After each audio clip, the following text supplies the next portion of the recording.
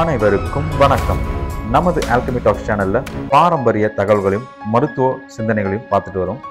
நம்ம இன்னைக்கு பார்க்க போகிற தலைப்பு என்னன்னு பார்த்தீங்கன்னா அனைவருக்கும் வணக்கம். ஒவ்வொரு வாரமும் சனிக்கிழமை ஞாயிற்றுக்கிழமை நம்ம கரலாக்கட்டை பயிற்சி தொடர்ந்து செஞ்சுட்டு வரோம். இந்த கரலாக்கட்டை பயிற்சி வந்த அனைவருக்கும் ஒரு மருத்துவ குறிப்பை ஒவ்வொரு நாளும் நம்ம கொடுக்குறோம். இன்னைக்கு ஒரு மருத்துவ குறிப்பு எல்லாருக்கும் தெரிஞ்ச விஷயந்தான் ஆனால் சிறப்புகளை தெரிஞ்சுக்கிட்டீங்கன்னா அதை விட மாட்டீங்க. வேறு ஒன்றும் இல்லை சார். முருங்கை தான். இன்னைக்கு முருங்கீரை சாப்பிட்டோம். இன்னைக்கு முருங்கை விதை சாப்பிட்டோம். இன்னைக்கு முருங்கை பிசுன்னு சாப்பிட்டோம். இன்னைக்கு முருங்கை பூவை பாலில் போட்டு சாப்பிட்டோம். மரத்தை என்னன்னு சொல்லுவாங்க? ஆண்களோட மரம். ஏன்னா ஆண்களுக்கான விந்து உற்பத்தி ஆண்மை சக்தியை அதிகப்படுத்தும். பெண்களுக்கான மரம். ஏன்னா அவங்களுடைய முதுகெலும்புகள் ஆரோக்கியமாக இருக்கும். பெண்கள் பார்த்தீங்கன்னா நிறைய ஒர்க் பண்ணுவாங்க. ஆனால் அவங்க அடிக்கடி சொல்லக்கூடிய விஷயம் என்னன்னா இடுப்பு வலிக்குது. கை தோள்பட்டை விட்டு போகுது. அப்படிலாம் சொல்லுவாங்க. இந்த முருங்கைக்கீரையை அவங்க தொடர்ந்து சாப்பிட்டு வந்தாங்கன்னா அவங்களுடைய ஆரோக்கியம் மேம்படும். சரி முருங்கைக்கீரை நம்ம எப்படி சமையல் பண்ணி சாப்பிடுவோம்? பொரியல் பண்ணி சாப்பிடுவோம். சாம்பார் வச்சு சாப்பிடுவோம். ஓகே இந்த முருங்கைக்கீரையை ஒரு குறிப்பிட்ட அளவு கையில் எடுத்து கடாயில் நெய் போட்டு வறுத்து அந்த முருங்கைக்கீரை ஒரு கைப்பிடி சாப்பிட்டு வந்தீங்கன்னா ஆண்மை பெருகும்.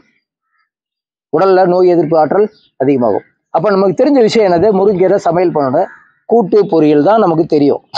ஆனால் இன்னைக்கு சிறப்பாக அதை பயனை அதிகரிக்கிறதுக்கு என்ன பண்ணுறோம் அந்த முருங்கைக்கீரை எதில் வறுக்கணும் வதக்கணும்? நெய்யில்.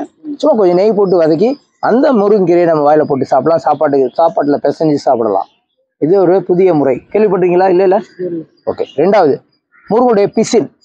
அந்த முருங்கை பிசினை ஒரு ஐம்பது கிராம் வாங்கி நெய்யில் வறுத்து பொடி பொடி பண்ணி பாலில் ரெண்டு சிட்டிகை போட்டு ஒவ்வொரு நாள் சாப்பிட்டீங்கன்னா முதுகெலும்பு பலம் படும் முதுகெலும்பு பலம் பெறும். ஆண்மை சக்தி அதிகமாகும்.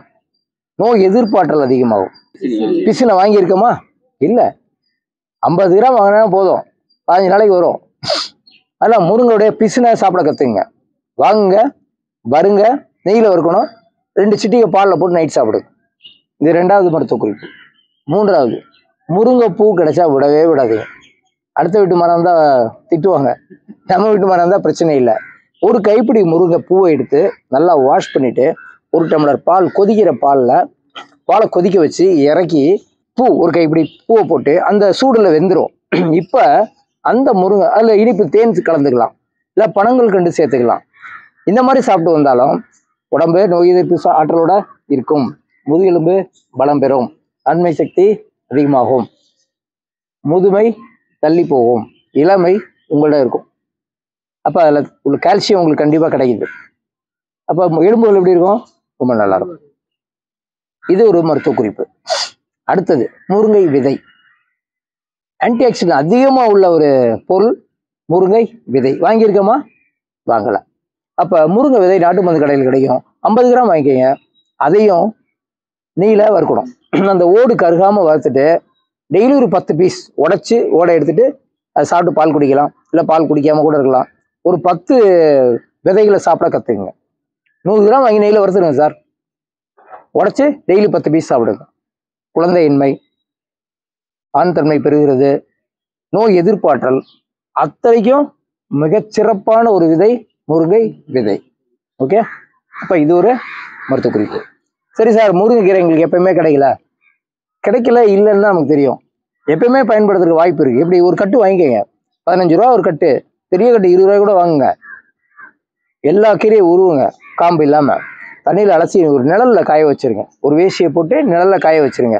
நல்லா காய்ஞ்ச உடனே அதை ஒரு கண்ணாடி பாட்டில் போட்டு வச்சுங்க. மொறு மொறுன்னு இருக்கும். எப்போல்லாம் உங்களுக்கு சூப்பு செய்யணுமோ அதுலேருந்து ஒரு கைப்பிடி எடுத்து மிளகு சீரகம் போட்டு சூப்பாக செஞ்சு சாப்பிடுங்க. அப்போ ஒரு மாதம் பூரா உங்களுக்கு கிடை கீரை கிடைக்குமா? கீரை இல்லைன்ற பிரச்சனை இல்லைல்ல. காய்ந்த அந்த முருங்கை இலை எழுபத்தைந்து சதவீதம் சத்துக்கள் அடங்கியது. ஃப்ரெஷ்ஷாக இருந்தால் ரொம்ப நல்லது. நம்ம டெய்லி முருங்கீரை கிடைக்காது. அப்போ என்ன பண்ணலாம்? இந்த முருங்கைக்கீரையை மொத்தமாக வாங்கி சுத்தம் பண்ணி கழுவி நிழலில் உலர்த்தி நல்லா காஞ்சோன்னா கண்ணாடி பாட்டிலில் போட்டு வச்சுக்கணும். தேவைப்படும் பொழுது ஒரு கைப்பிடி எடுத்து சூப்பு செஞ்சு சாப்பிடணும். அப்போது முருங்கை இலை சாப்பிட்டீங்க. அடுத்தது முருங்கை இலையை வறுத்து நெய்யில் வறுத்து சாப்பிட்டீங்க. அடுத்தது முருங்கை பிசுனை சாப்பிட்டீங்க. கிடைக்கும். நாட்டு மருந்து கிடைக்கும். அடுத்தது முருங்கை பூவை சாப்பிட்டீங்க. அடுத்தது முருங்கை விதை. இந்த அஞ்சு பயன்பாடும் தொடர்ந்து மாற்றி மாற்றி பண்ணிகிட்டே வந்தீங்கன்னா உங்களுடைய ஆரோக்கியம் கண்டிப்பாக மேம்படும். உணர முடியும். உணர முடியும். உங்களுடைய செயல்கள் திறமிக்கதாக இருக்கும். அதில் முருங்கை மரத்தை அவ்வளோ ஈஸியாக நினச்சி தவிர்க்காதீங்க. ஸோ இவ்வளோ சிறப்புகள் அடங்கிய இந்த முருங்கை மரத்தை நம்ம தொட்டு வணங்கி கூட நம்ம வாழ்க்கையை ஆரம்பிக்கலாம்.